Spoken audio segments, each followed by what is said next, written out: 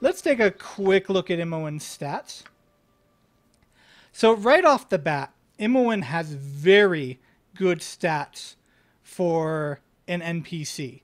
Uh, she's got a max dexterity as a thief, and that's actually, you know, you'd think that there would be a lot of characters in this game who can accompany you on your quest that have a maxed out stat in their most important stat. This is not the case. This is not the case at all. Even some of the better characters don't actually have the max stat where it counts. Imoen also has a 16 constitution. And if you remember, for, or were there, from when I was talking about the breakpoints and stats, that means that she's going to get the maximum number of hit points per level. As a thief, she does not need the 18. And she also has a 16 charisma, which makes her a good party leader. If you yourself dumped charisma, I wonder who would do that. um, but here's something interesting. She has a 17 intelligence. I wonder what we could use that for. Well, we can't do it yet, but one of the classic things to do with Imoen is about the time she hits either 5th or 6th level, depending on your taste. You can dual class her into a wizard, into a mage. Now, dual classing is something that only the human characters can do. And oftentimes, I will make human characters as my main protagonist because of how powerful dual classing can become.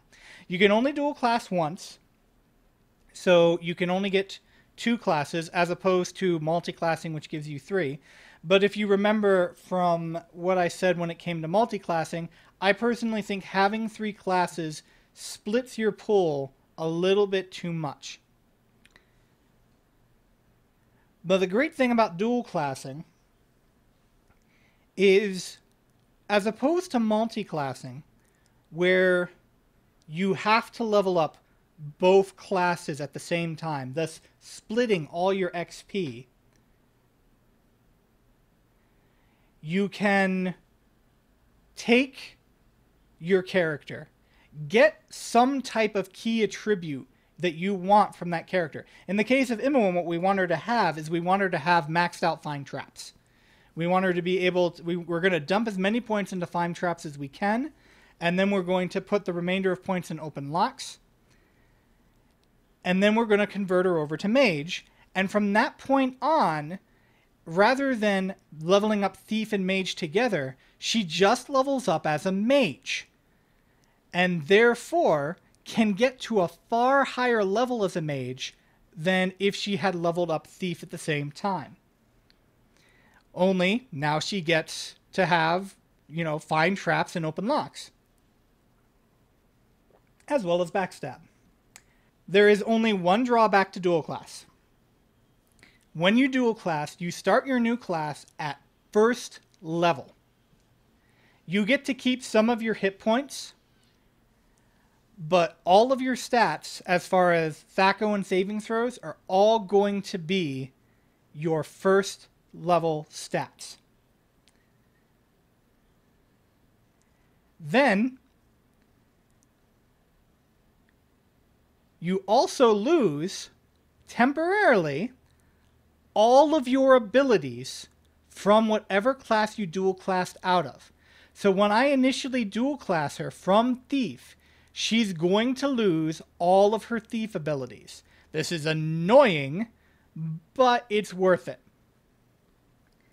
Once she exceeds her level that she achieved, and for me, I'm probably going to take her up to fifth or sixth, as I said.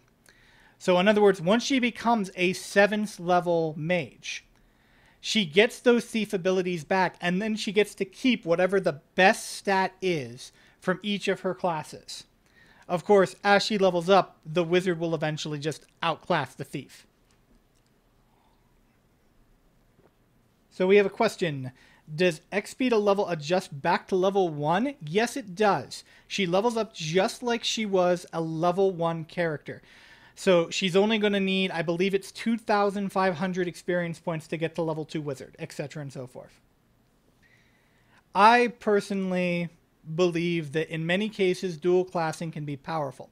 However, with the enhanced edition, they made some changes to the way multi classing works.